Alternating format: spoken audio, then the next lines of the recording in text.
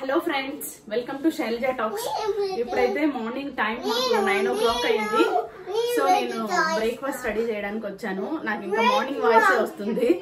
So కొంచెం breakfast చేసి tea తాగితే వాయిస్ పోతుందేమో ఇప్పుడు చూడండి. హాయ్ చెప్పినావా? హాయ్ హాయ్ చెప్పిన. ఉమ్, దిగిగా హలో మామీ కావాలి ఓకే ఫ్రెండ్స్ ఇప్పుడైతే నేను ఈరోజు బ్రేక్ఫాస్ట్లో ఇడ్లీ ప్రిపేర్ చేస్తున్నాను. సో ఇప్పుడు మనం ఇడ్లీ ప్రిపేర్ చేసుకుందాం ఇక్కడ నేను ఇడ్లీ పిండి అంతా కలుపుకుంటున్నాను. ఇడ్లీ పిండి అయితే బాగా పొంగిందండి. ఇప్పుడు కొంచెం సమ్మర్ స్టార్ట్ అవుతుంది కదా సో పిండి ఇప్పుడు కొంచెం పొంగుతుంది. ముందైతే నేను నైట్ ఎంత పెట్టానో అంతే ఉండేదన్నమాట. అస్సలు పొంగేది కాదు. ఇడ్లీ ఏంటంటే పొంగకపోతే కొంచెం గట్టిగా వస్తాయి కదా. సో అలా ఈరోజు కొంచెం మెత్తగా వస్తాయని అనుకుంటున్నాను ఎందుకంటే పిండి పొంగింది కదా.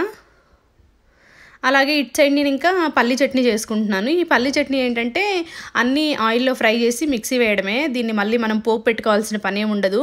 పచ్చిమిర్చి అలాగే పల్లీలు ఇంకా చింతపండు జీలకర్ర కరివేపాకు అన్నీ మనం వేసేటివన్నీ అందులోనే వేసి ఫ్రై చేసుకొని మిక్సీ వేసుకోవడమే అనమాట ఇప్పుడు నేను వాటిని ఫ్రై చేసి పక్కన పెట్టుకున్నాను. అవి చల్లారాక మిక్సీ వేద్దామని. ఈలోపు ఇడ్లీస్ అన్నీ ఇడ్లీ పాత్రలో పెట్టుకుంటున్నాను. ఇలా నేను ఇప్పుడు ఫస్ట్ అయితే త్రీ పెడుతున్నాను. పిల్లలకి తినిపించాక నేను తింటాను కదా. సో అప్పుడు నాకు మళ్ళీ వేడివేడిగా పెట్టుకోవచ్చులే అని చెప్పేసి వాళ్ళ ముగ్గురు కోసం మా హస్బెండ్ ఇంకా పిల్లల కోసం త్రీ ప్లేట్స్ అయితే పెట్టాను.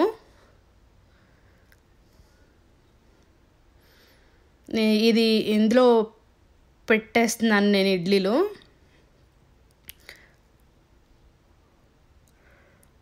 అలాగే చూడండి ఇప్పుడు నాకు ఇడ్లీ అయితే రెడీ అయిపోయింది. ఇడ్లీలు ఈరోజు చాలా సాఫ్ట్గా వచ్చాయండి. చాలా అంటే చాలా సాఫ్ట్గా వచ్చాయి. చాలా రోజుల తర్వాత ఈరోజు చాలా సాఫ్ట్గా వచ్చాయి.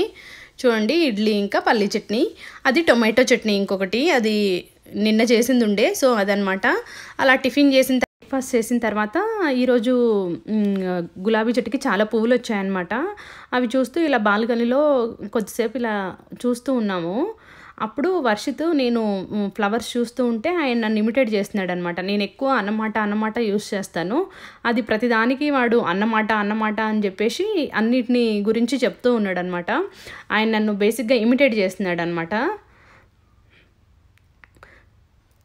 చూడండి పిల్లలు ఎంత ఫాలో చేస్తారో మనల్ని. నేను మాట్లాడేదంతా అబ్జర్వ్ చేసి ఆయన నేను ఎలా చెప్తానో మామూలుగా వాయిస్ ఓవర్ ఇవ్వడానికి నేను ఎలా చెప్తానో అలా చెప్తూ ఉన్నాడు మా మమ్మీ స్మెల్ చేసింది వచ్చాక చాలా ఆకులు వచ్చాయన్నమాట ఇది అది బంతి పువ్వులు. అది బంతి పువ్వులు ఆ trash tank black trash tank అది చాలా మంచి పూసాయన్నమాట ఇంకా సీలింగ్స్ సీడ్స్ సీడ్స్ మీ మధ్యలో వేసే సీడ్స్ సీలింగ్స్ అయిపోయాయి అన్నమాట. ఇంకా టొమాటో చెట్టు ఇంకా ఫ్లవర్స్ వచ్చాయి. ఇంకా ఇవి కాస్తాయి అన్నమాట ఇది మింట్ అన్నమాట చాలా ఆకులు వచ్చాయి ఇంకా మింట్ చాలా ఆకులు వచ్చాయి అన్నమాట చూడండి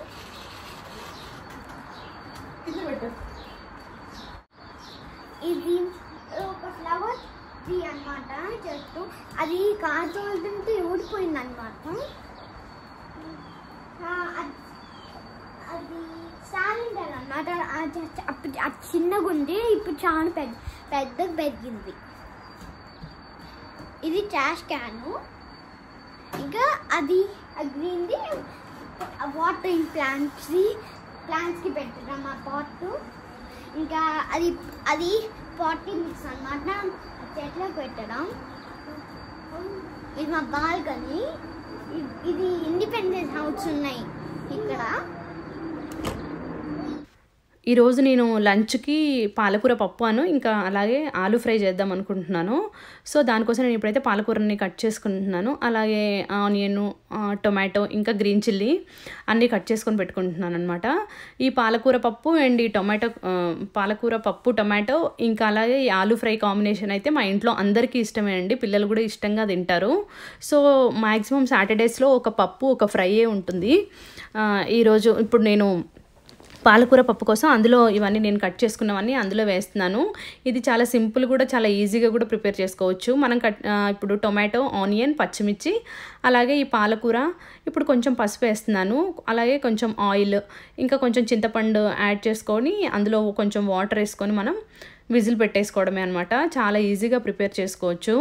ఇప్పుడు చూడండి ఇక్కడైతే నేను ఆయిల్ వేస్తున్నాను ఇక్కడ గ్యాస్ కట్కి. ఎందుకంటే మనకి పప్పు పెట్టినప్పుడు విజిల్ వచ్చినప్పుడు మొత్తం స్టవ్ పైన పడిపోతుంది కదా. సో అలా పడకుండా ఉంటుందన్నమాట. ఈ ఆయిల్ అప్లై చేస్తే ఈ గ్యాస్ కట్ చుట్టూ మనము ఇలా పెట్టేసి నేను ఇంకా ఈ కుక్కర్కి విజిల్ పెట్టేశాను. ఇంక ఇందులో నేను కారం అయితే ఏం యాడ్ చేయనండి. ఎందుకంటే ఆల్రెడీ గ్రీన్ చిల్లీస్ వేసాను కదా. సో కారం వేయను. ఇప్పుడు పొటాటో ఫ్రై కోసం పొటాటోస్ అన్నీ తొక్కు తీసి ముక్కలుగా కట్ చేసుకుంటున్నాను.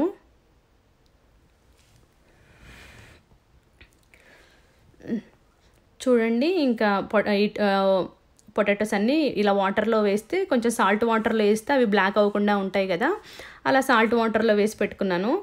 ఇప్పుడైతే పొటాటో ఫ్రై కోసం అన్ని రెడీ చేసుకుంటున్నాను. పొటాటో ఫ్రై కూడా ఇది చాలా ఈజీ అండి. ఇందులో వే వేసేవి కూడా పెద్దగా మనం ఎక్కువ ఏమి వేయాల్సిన అవసరం ఉండదు. ఫస్ట్ అయితే కొంచెం ఆవాలు జీలకర్ర వేసాను. ఆ తర్వాత పొటాటోస్ యాడ్ చేసుకున్నా.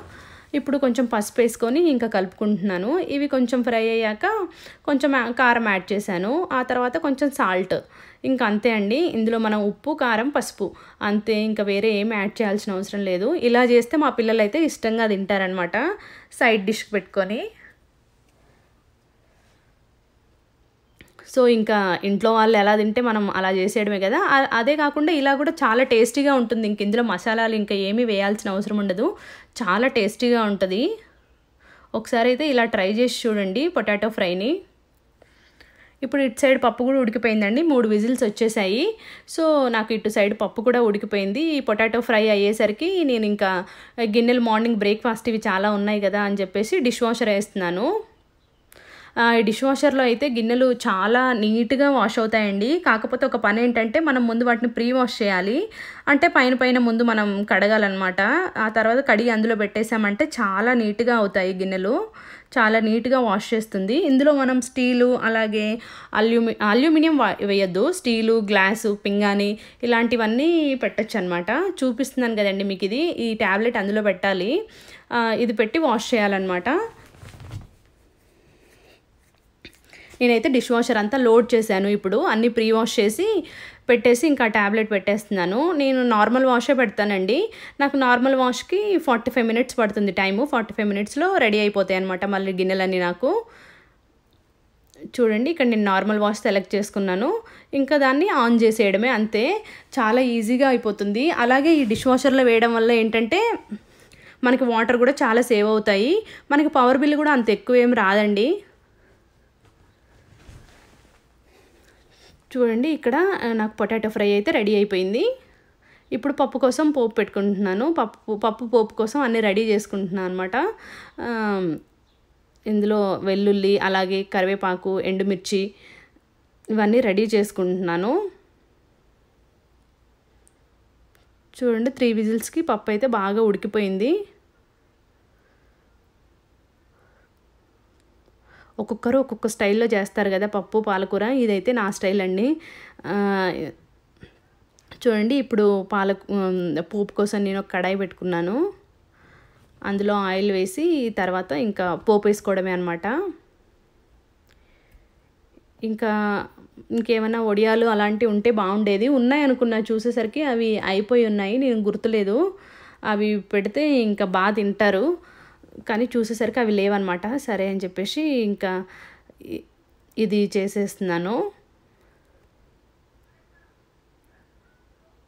చూడండి అన్నీ అందులో యాడ్ చేసుకున్న కరివేపాకు ఎండుమిర్చి అలాగే వెల్లుల్లి కొంచెం ఇంగు కూడా వేస్తాను నేను. ఇప్పుడు నాకైతే లంచ్లోకి టొమాటో పప్పు సారీ పాలకూర పప్పు అలాగే పొటాటో ఫ్రై అయితే రెడీ అయిపోయాయి. అలాగే రైస్ కుక్కర్లో కూడా రైస్ పెట్టాను. సో అది కూడా ఇంకో టెన్ మినిట్స్ అయితే అది కూడా రెడీ అయిపోతుంది.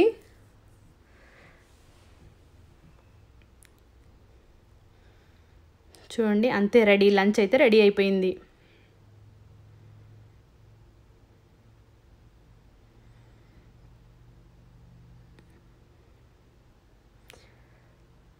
ఇంకా అలాగే ఇప్పుడు ఫార్టీ ఫైవ్ మినిట్స్ అయిపోయిందనమాట నేను డిష్ వాషర్ వేసేసి.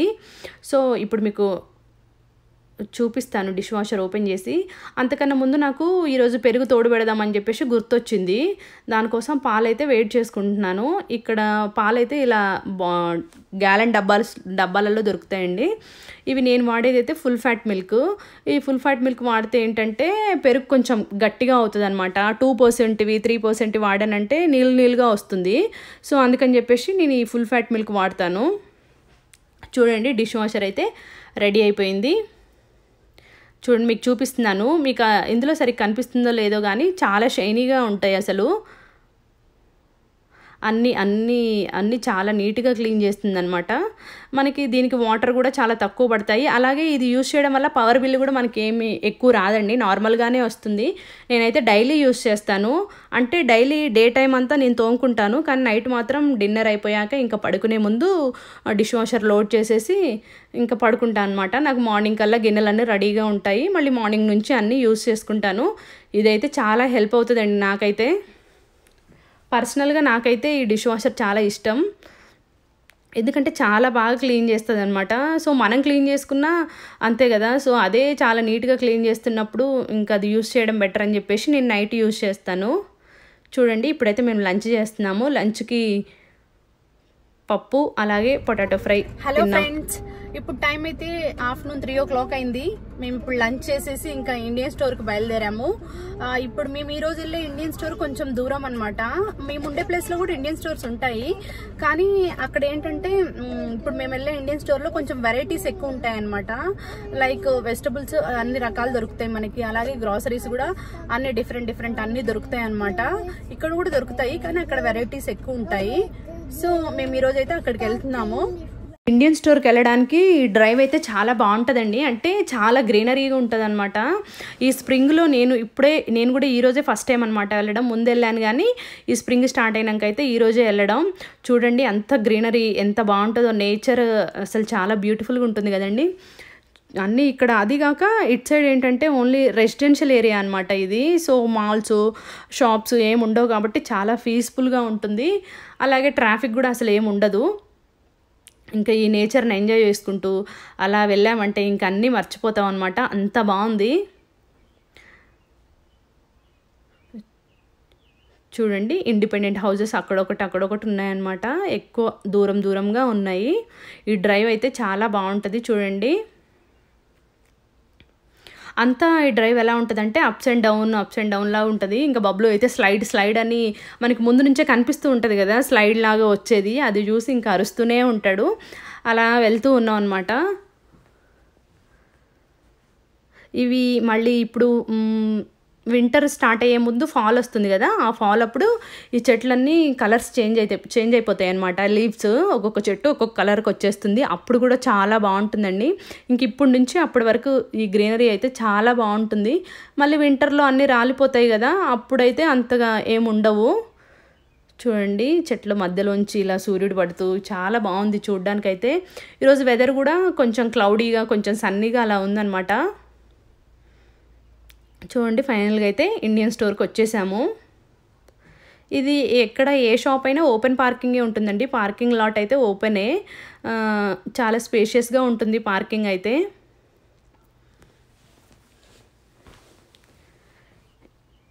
ఇది వచ్చేసి ఇండియన్ స్టోరు. నేను ఇండియన్ స్టోర్కి వెళ్తున్నాను. ఇంకా పిల్లలను హస్బెండ్ ఏమో కారులోనే ఉన్నారు. ఇంకా ఎవరో ఒకరే వెళ్తున్నాం అనమాట మిగతా ఇంకొకరు పిల్లలతో అలా కారులో ఉంటున్నాము.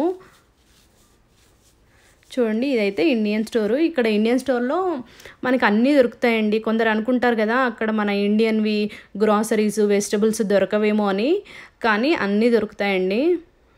దానికోసం అని చెప్పేసి ఒక ఐడియా వస్తుంది కదా మీకు ఇక్కడ ఎలా ఉంటాయి షాప్స్ అని చెప్పేసి నేను ఇది వీడియో తీశానమాట చూడండి ఈరోజు వెజిటబుల్స్ ఇక్కడ ఫ్రెష్గా ఉంటాయని వచ్చాం కదా. వెజిటబుల్స్ ఈరోజు అస్సలు ఫ్రెష్గా లేవు. అడిగితే రేపు వస్తాయి ఫ్రెష్గా అన్నారు.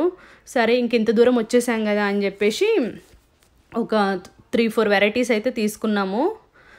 తీసుకొని ఇంకా వచ్చేసామన్నమాట.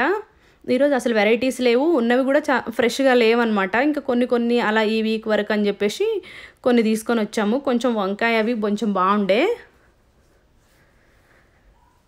ఇంకా అన్నీ దొరుకుతాయండి. వెజిటబుల్స్ కూడా మ్యాక్సిమం అన్నీ దొరుకుతాయి. గ్రాసరీస్ కూడా అన్నీ దొరుకుతాయి మనకి. చూడండి మీకు వెజిటబుల్స్ అన్నీ చూపిస్తున్నాను.